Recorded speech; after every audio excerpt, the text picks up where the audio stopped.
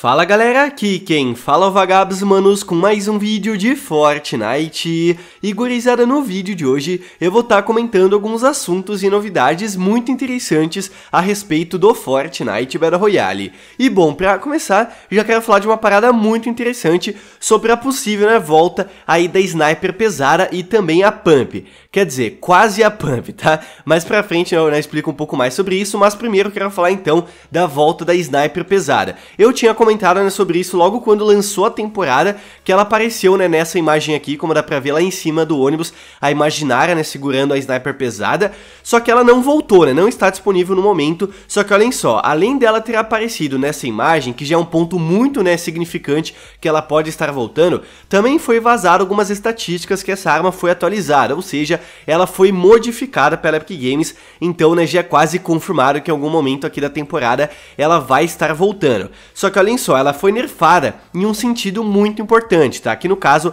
ela não vai mais matar se você acertar um headshot no oponente. Exatamente. Olhem só o que o Hypex comentou aqui, as mudanças. O dano dela permanece o mesmo, né? 120, 128 e 132. Isso, né, das três raridades aí disponível. Eu acho que aqui tá considerando raridade rara também, só que para quem não sabe, a raridade rara desse sniper já tá nos arquivos há muito tempo. Se eu não me engano, nunca chegou até hoje no jogo, né? Só teve épico e lendário dela, mas enfim, né, tá tá aí a estatística também da variante rara, né, que pode ser que ela chegue aí também, né, com a volta desse item. Só que o headshot foi muito nerfado. Foi de 200 aí de todas as raridades para 180, 192 e 198. Então ela não vai mais matar com 200 de dano direto. Só que isso nem adiantaria também, porque vale lembrar, né, que todo mundo percebeu que agora a gente tem os 50 de escudo extra, né? Então, uh, para matar de uma vez deveria causar 250 de dano e não mais 200. De qualquer forma, ela não vai mais matar num single shot, né, de headshot ali. Então, né, vamos ver como que vai ser a reação da galera, se vai acabar gostando desse nerf ou não. Mas enfim, né, o dano que ela causa de construção foi de 1000, 1050, 1100 para 600, 630 e 660. Isso aqui também faz muita diferença. Eu não tenho certeza do ponto de vida máximo ali das paredes, né, de madeira, metal e, e pedra, mas acho que não vai mais conseguir quebrar uma parede de metal, por exemplo, né, de pedra talvez também não, em um tiro só, né? Em um ponto muito forte da Sniper é que ela causava muito dano à construção também e agora caiu pela metade basicamente.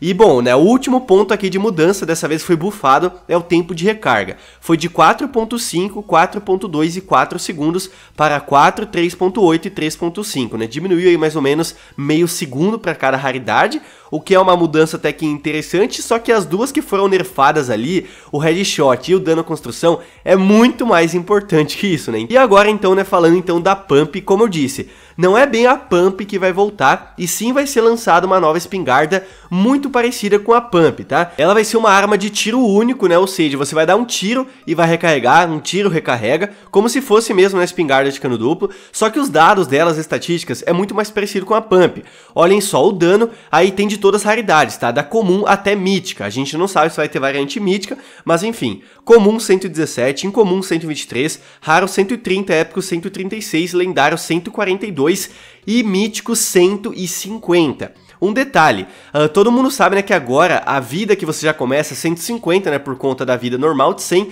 e 50 do escudo extra. Então se tiver mesmo a variante mítica dessa espingarda e você acertar um tiro em cheio no peito do oponente, você mata direto né, com 150, é um detalhe bem importante. Headshot 146, 154, 163, 170, 178, 187, não chega também a 200 de dano, né, como dá pra ver o headshot é multiplicado por 1.20 25, não é tanto a mais assim. Dano a construções, como dá pra ver, não é um dano tão alto também, 81, 86, 90, 95, 99, 104, e tempo de recarga vai de 1.7 segundos até 1.2 segundos ali na variante mítica, beleza? A gente não sabe, né, quando que vai voltar a Sniper pesada, quando que vai ser lançado também essa nova espingarda, mas enfim, né, fiquem ligados, já que são armas que a galera presta muita atenção, achei um assunto importante para comentar aqui. E galera, outra parada que eu separei aqui foi uma homenagem que a Epic Games fez aparentemente para um jogador aqui no mapa dessa temporada. A Epic adora fazer esse tipo de coisa, né, quando tem algum vídeo que viraliza bastante aí na comunidade e tudo mais,